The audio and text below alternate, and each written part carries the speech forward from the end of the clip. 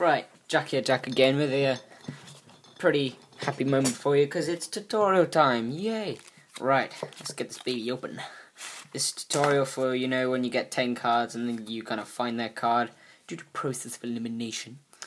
So, crikey, stiff deck. Right, so they can shuffle the pack as much as they like, completely impromptu. That's what I love about this trick. Right, so they have shuffled and they're happy. So, you just take off the top 10 cards. Sorry. 2, 3, 4, 5, 6, 7, 8, 9, 10. And this just goes over there. Now what you say, you can just shuffle this. So they're shuffling it. Like so. And they're happy. And you say, right, turn over that top card. That's going to be your card. Two of hearts. So they put it back. And you say, right, I want you to mm, think of a number and then move the cards to the back. So they think of four. One, two, three, four. So you get it back, and this is the magic moment.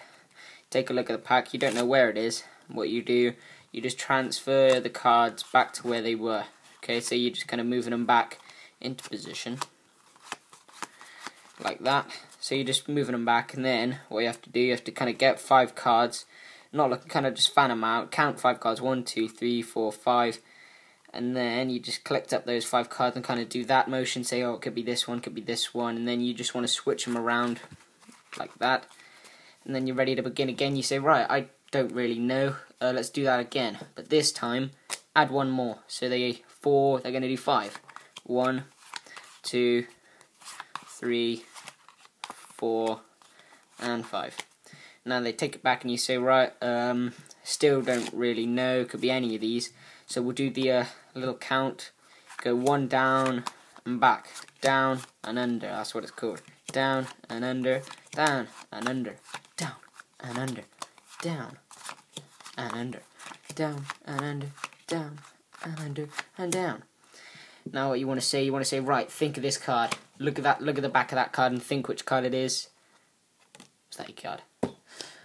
they will be pretty amazed and think, what is going on? Um, yeah, it's a pretty good card trick. Um, it will amaze some people. Um, hope you enjoyed it, and if you pull it off, it will look good. See you next time.